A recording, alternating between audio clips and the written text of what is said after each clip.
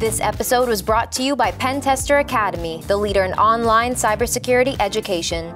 Join over 10,000 professionals from 90 countries to learn security online. Also brought to you by Hacker Arsenal, artillery for cyber warriors. Visit us on hackerarsenal.com to check out our latest attack defense gadgets. I'm Marley Oxenome from Pentester Academy TV, and welcome to our show, Access Point, where we spotlight cybersecurity companies and give an inside look at the people and technology behind the latest advancements in the industry. Today, I will be speaking with the company Cobalt. I'm sitting down right now with Esben Friis Jensen, who is going to walk us through a platform demo. Take it away. Thank you. Absolutely. So, uh, we're just going to dive right into it. Um, so, uh, basically, Cobalt is this uh, pen testing platform that allows you to uh, run a pen test and uh, work directly with uh, pen testers. The whole idea behind it is basically that you can uh, spin up a pen test, mm-hmm. we'll match a team to it, um, and then you'll start receiving findings. So, I'm just going to run you through this workflow.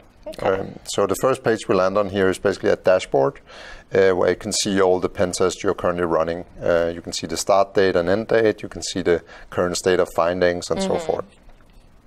If we dive uh, a bit deeper into an individual pen test, uh, you can see here how it's defined uh, by what is in scope, what is the objective, like testing for OWASP sub 10 application logic.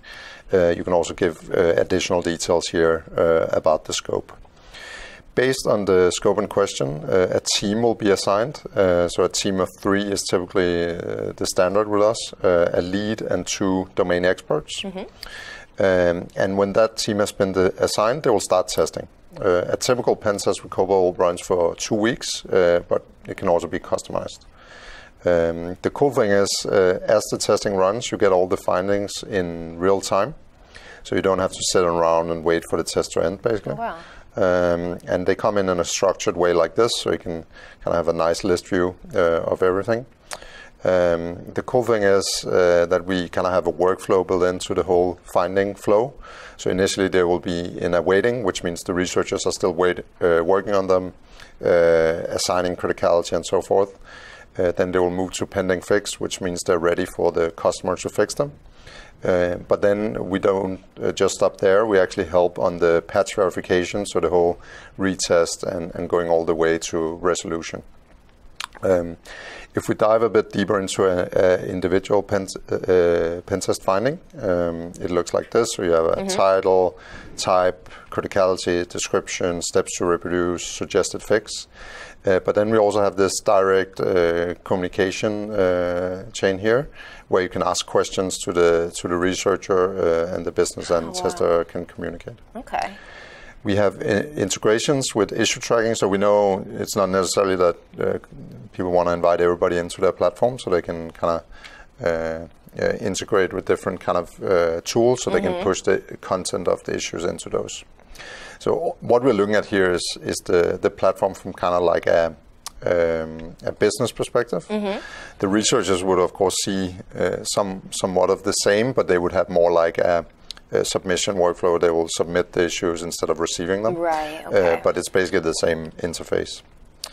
Uh, part of the delivery is also these summary views. Uh, so we all kind of build out these graphs uh, based on the individual findings. Okay. Um, and you also get, so we took the old school PDF report uh, that you get from consultancies and build it into the platform as a live document.